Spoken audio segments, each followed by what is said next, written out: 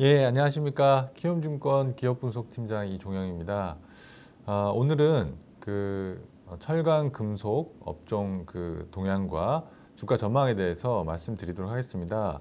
어, 때마침 오늘 그 장 초반에 어, 제가 담당하고 있는 어, 종목들의 주가가 상당히 지금 급등하고 있는 상황인데요. 어, 타이밍이 좀 잘 맞는 것 같습니다. 제가 오늘 말씀드릴 그 보고서의 내용은요. 어, 월요일 날 저희 홈페이지에 올라와 있는 어, 철강 금속 그 업종 동향 자료를 참고하시면 되고요. 어, 제목은 어, 금 가격 어느새 9년 내 고점이라는 제목으로 어, 자료가 올라와 있습니다. 어, 지금 음, 철강 업종은 어, 포스코를 중심으로 해서 장 초반에 주가가 강하게 지금 상승을 하고 있는 상황인데요. 어, 1차적인 원인은 뭐 미국장에서 이제 어, 그 주식이 먼저 많이 올랐다라는 부분들이 있긴 하겠지만 어, 어제 이제 US 스틸이 가격 인상을 발표하면서 또 미국 철강주들 주가가 강세를 보였습니다. 어, 그런 부분들이 지금 이제 우리나라 시장에 반영이 되고 있는 상황으로 보실 수 있는데요. 어, 특별히 그 철강 업황 같은 경우에는 어, 2분기부터 사실상 회복세가 어, 나오기 시작했다라고 보시면 될 것 같습니다. 제가 항상 말씀드리지만 어, 가격 지표는 어, 지난주에도 어, 상승세가 보였고요. 어, 특히 이제 주목하실 부분은 어, 이 중국의 경기 지표들이 어, 다 잘 나오고 있다라는 점입니다. 어, 중국 철강 가격은 전 세계 철강 가격의 어, 벤치마크라고 볼 수 있고 또 우리나라 철강 가격도 이 중국 철강 가격을 추종하고 있는데요. 중국 철강 가격은 중국의 경기 모멘텀과 동행한다라고 보시면 됩니다. 따라서 2분기 지난주에 발표됐던 2분기 중국 GDP 성장률이 예상치를 크게 상회했다라는 점 이러한 부분들이 어, 철강 수요가 살아나고 있다라는 부분으로 해석이 되면서 철강 가격들이 이제 반등을 하고 있고 특히나 이제 중국 철강 가격이 반등을 하면서 우리나라 업체들도 어, 7월부터 이제 가격 인상을 시작하고 있는 상황입니다. 지난주에 보시면 아시겠지만 그 동국제강이나 동부제철이 어, 유통 가격을 이제 올린다라고 먼저 발표를 했고요. 포스코와 현대제철도 조만간 이제 가격 인상 대열에 이제 동참을 할 것으로 보고 있습니다.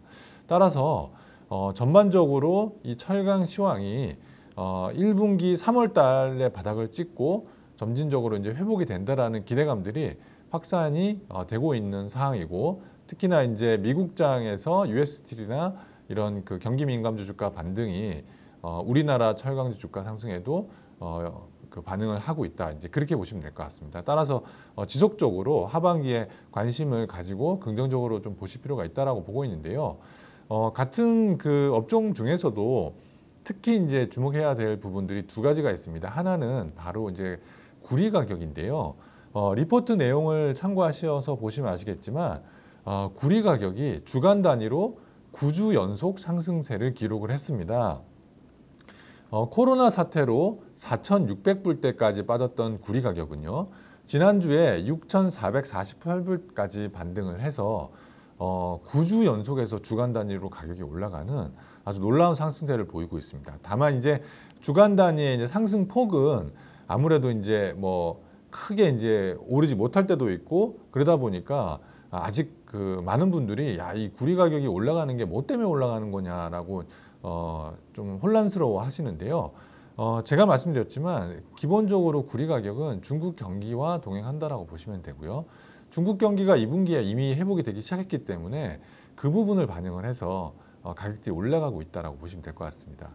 특히나 최근 들어서 좀 주목하셔야 되실 부분은 위안화 환율이 다시 7위안을 깨고 밑으로 떨어지면서 위안화 환율이 강세를 보이고 있다는 점인데요. 어, 위안화 환율 강세는 중국 경기 회복에 대한 베팅이 들어가고 있다는 시그널로 어, 보실 수 있다. 저는 그렇게 생각하고 있습니다. 따라서 이 구리 가격 상승세도 어, 뭐 당장 이제 단기적으로 뭐 그칠 이슈가 아니고 앞으로도 이제 계속 될 이슈가 어, 되, 될 것으로 저는 생각을 하고 있고요. 그렇기 때문에 제가 5월 달부터 계속적으로 그 말씀드렸던 이 풍산에 대해서도 계속적인 긍정적인 관점 접근이 가능하다. 이제 그렇게 보시면 될 것 같습니다. 어, 풍산은 어, 그 리포트에도 말씀을 드렸지만 방산 수출이 계속적으로 회복을 보이고 있는 상황이기 때문에 실적은 뭐 2분기부터 확실히 좀 개선이 될 걸로 그렇게 보고 있고요. 3분기, 4분기로 갈수록 어, 더 좋아진다. 이제 그렇게 보시면 될 것 같습니다. 아, 특히 이제 이번 주에 있어서 좀 주목해야 될 부분은 바로 이제 이 귀금속 가격입니다. 제가 이 리포트의 제목에도 어, 써놨지만 금 가격이 어느새 9년 내 고점을 기록을 했습니다. 이 금 가격의 역사적 고점은 2011년 9월에 기록했던 1,900불인데요. 지금 이제 1,800불대를 이제 넘어섰고 이번 주에도 금 가격의 상승세가 계속이 되고 있는 상황입니다. 따라서 이 전고점 1,900불을 깰 날이 머지 않았다라고 보고 있고요. 어, 그렇기 때문에 이제 뭐 다른 증권사나 뭐 글로벌 IB에서도 금 가격이 전고점을 깨는 거는 시간 문제다. 뭐 2,000불까지 올라가는 거는 시간, 시간 문제다. 뭐 이런 식의 레포트들이 지금 나오고 있는 상황으로 보시면 될 것 같습니다.